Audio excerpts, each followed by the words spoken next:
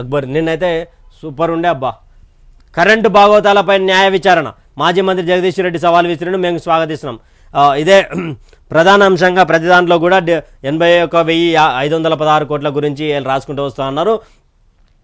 Medigadda barrage వద్ద coffer dam పనులు. మేడిగడ్డలో కాఫర్ డ్యామ్ పనులు షురు. బ్యారేజ్లో ఏడవ బ్లాక్ ఉన్న వైపు నుంచే పునరుద్ధరణ ప్రారంభించిన ఎల్ఎన్టీ తొలతో సంబంధం లేదని బుకాయింపు. ఒప్పందం చేసుకుంటేనే పనులంటూ రంగంలోకి దిగిన సీఎం రేవంత్ రెడ్డి పనులు ప్రారంభించిన నిర్మాణ సంస్థ. మరోసారి ఒక మెడల్ అయితే రేవంత్ రెడ్డి ఉంచిందని చెప్పుకోవచ్చు. మాకు సంబంధం లేదని చెప్పి చేతులు జాడించుకుని దులిపించుకునే ప్రయత్నంలో చేసినటువంటి ఎల్ఐటి సంస్థ కానీ కాంట్రాక్టర్లు కానీ మరోసారి పనులు అయితే స్టార్ట్ చేసిరంట.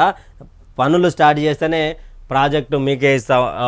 పునరుద్ధరణ ఒప్పందం చేసుకునే పనులు అంటూ ఒప్పందం చేసుకుంటేనే పనులు అంటూ కూడా లేక చేసిరంట.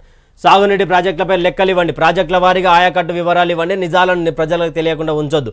ప్రతి నిర్ణయం పారదర్శకంగా ఉండాలి. సమీక్షలో అధికారులకు సీఎం ఆదేశాలు. సాగునీటి రంగానికి సంబంధించి ప్రభుత్వం తీసుకునే ప్రతి నిర్ణయం పారదర్శకంగా ఉండాల్సిందేనని సీఎం రేవంత్ రెడ్డి స్పష్టం చేశారు. రాష్ట్రంలోని సాగునీటి ప్రాజెక్టులకు సంబంధించి సమగ్ర లెక్కలతో పూర్తి స్థాయి నివేదికను అందించాలని అధికారులను ఆదేశించారు. వ్యవసాయ నీటిపారుదల రంగాలపై మంత్రి తుమ్మల నాగేశ్వరరావు.